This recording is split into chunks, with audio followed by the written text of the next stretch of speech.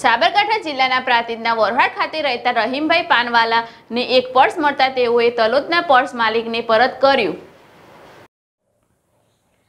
પ્રાંતિજના વોરવાડ ખાતે રહેતા રહીમભાઈ પાનવાલા પોતાની માતાને લઈને સાંજના સમયે હિંમતનગર પાસે આવેલ પીપલોદી કૃષ્ણા હોસ્પિટલ ખાતે દવા લેવા ગયા હતા અને તેમની માતાની દવા લઈને પરત પ્રાંતિજ આવતા હતા ત્યારે હોસ્પિટલ બહારથી તેઓને એક પર્સ મળ્યું હતું અને તેઓએ આજુબાજુ તપાસ કરતા કોઈ મરી ના આવતા રાત્રિનો સમય હોવાથી તેઓ પોતાની સાથે પર્સ ઘરે લાવ્યા હતા અને ઘરે બેસી પર્સમાં તપાસ કરતા રોકડા પચીસો તથા આધાર કાર્ડ, એટીએમ કાર્ડ સહિતના ડોક્યુમેન્ટ હોય અને ગેસની સ્લીપ મળતા તેના ઉપરથી તેઓએ સંપર્ક કરતા મૂળ માલિક સુધી પહોંચ્યા હતા, જેમાં તલોદના વરવાડાના ઝાલા કૃષ્ણસિંહ મુરશી પણ પોતાના પિતાને હોસ્પિટલમાં દાખલ કરેલ હોય.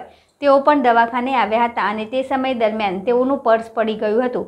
તેઓએ શોધખોળ કરી હતી, પણ મળ્યું ન હતું. ત્યારે બીજા દિવસે પ્રાંતિજના રહીમભાઈ પાનવાલાનો ફોન જતાં ઝાલા કૃષ્ણસિંહ મુર્શી પ્રાંતિજ ખાતે આવીને પર્સ લઈ ગયા હતા અને તેઓએ પર્સ મળતા જરૂરી ડોક્યુમેન્ટ સહિત રોકડ રકમ પરત મળતા ખુશી વ્યક્ત કરી હતી અને રહીમભાઈ પાનવાલાનો આભાર માન્યો હતો. ત્યારે હજુ પણ પ્રામાણિકતા મરી પરવારી નથી, તેમ કહીએ તો નવાય નહીં. જીલ રાવલ, જેડેશ ટીવી, પ્રાંતિજ.